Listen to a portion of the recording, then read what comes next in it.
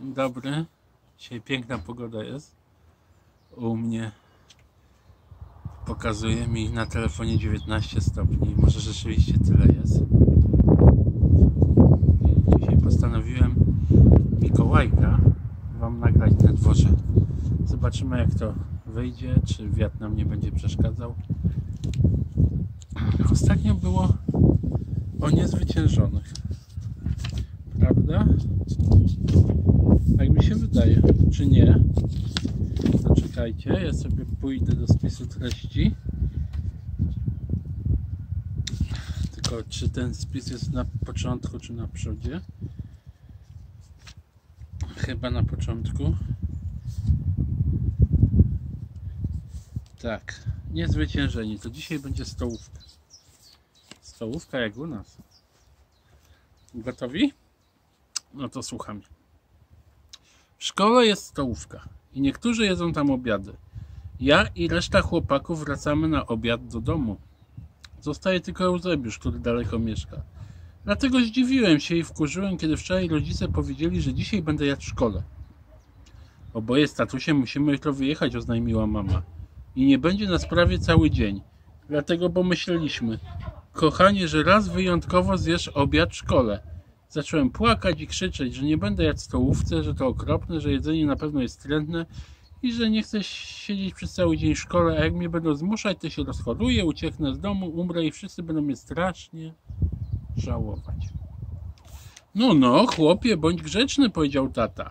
To tylko jeden raz. Musisz przecież zjeść obiad, a my nie możemy cię ze sobą zabrać. Zresztą, to, co ci dadzą do zjedzenia, będzie na pewno bardzo smaczne. Rozpłakałem się jeszcze bardziej. Powiedziałem, że podobno w mięsie jest pełno tłuszczu, że bije się tych, którzy nie jedzą tłuszczu i że wolę już w ogóle nic nie jeść, niż zostać w szkole. Tata podrapał się po głowie i spojrzał na mamę. To co robimy? Zapytał. Nic nie możemy zrobić, powiedziała mama. Zawiadomiliśmy już szkołę, a Mikołaj jest duży i powinien być rozsądny. Poza tym dobrze mu to zrobi. W ten sposób bardziej doceni to, co dostaje w domu. No, Mikołaj, bądź grzeczny, pocałuj mamusię i przestań płakać. Przez chwilę jeszcze się dąsałem, a potem zobaczyłem, że nie ma co dłużej płakać. Bo i tak to nic nie daje. Więc pocałowałem mamę, a potem tatę. Oni obiecali, że przywiozą mi mnóstwo zabawek. Oboje byli bardzo zadowoleni. Kiedy dziś rano przyszedłem do szkoły, miałem w gardle wielką gulę i bardzo chciało mi się płakać. Zostaję na obiad, wyjaśniłem chłopakom, którzy pytali, co mi jest. Super, powiedział Eusebiusz. Zrobimy tak, żeby siedzieć przy tym samym stole. Wtedy się rozpłakałem i Alca zdał mi kawałek swojego rogalika. A to mnie tak zdziwiło, że aż przestałem płakać, bo po raz pierwszy zdarzyło się, że Alca zdał komuś kawałek czegoś, co można zjeść. A potem przez całe rano nie myślałem już o płakaniu, bo dobrze się bawiliśmy. Dopiero w południe, kiedy koledzy szli do domu na obiad, znowu poczułem w gardle wielką gulę. Oparłem się o ścianę i nie chciałem grać w kulki z Eusebiuszem. A potem zadzwonił dzwonek i ustawiliśmy się w pary.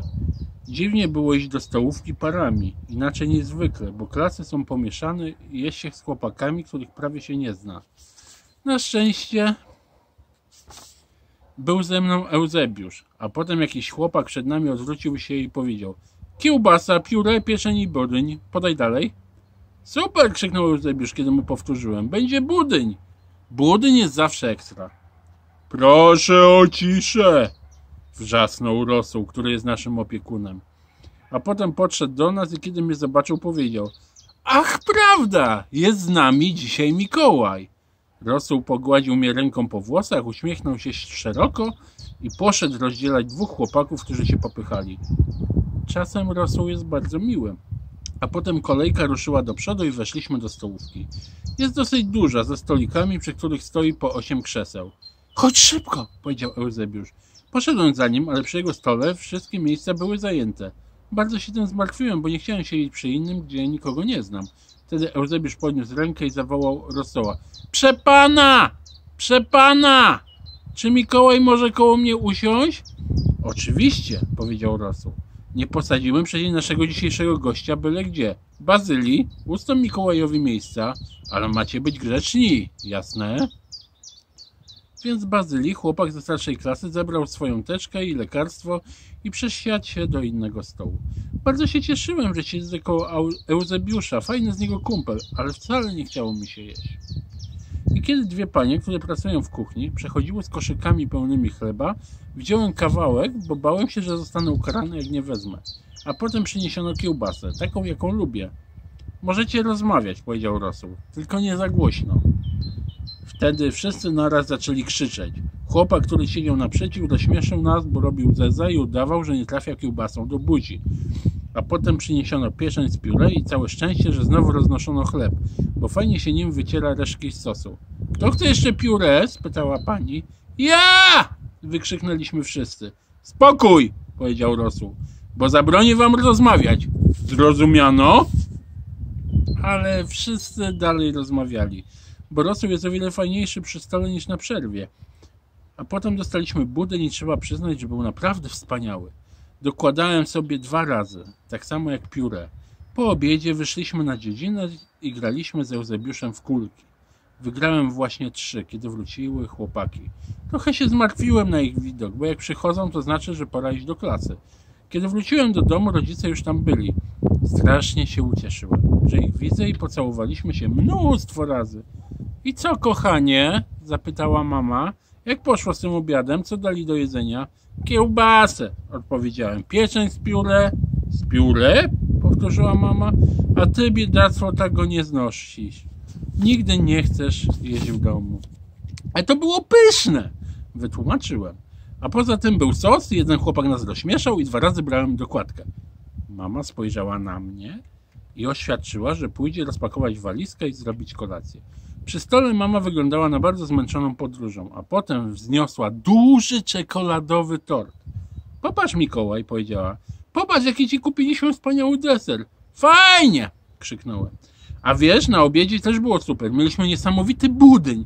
Dokładałem sobie dwa razy, tak samo jak pióre. Wtedy mama powiedziała, że miała bardzo ciężki dzień, że wszyscy są zdenerwowani, że zostawi zmywanie na jutro, a teraz położy się spać.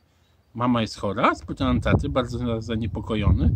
Tato roześmiał się i poklepał mnie po poliszku i powiedział To nic poważnego, chłopie. Myślę, że coś, co jadłeś w południe, leży jej na wątrobie. No, to mieliście troszeczkę... Ja pokażę. Nie wiem, czy będzie widać. Tak wygląda stołówka Mikołaja. O! Mieliście możliwość zobaczenia, jaka jest różnica między naszą stołówką szkolną, a stołówką we Francji, w szkole, do której chodzi Mikołaj i inni chłopacy.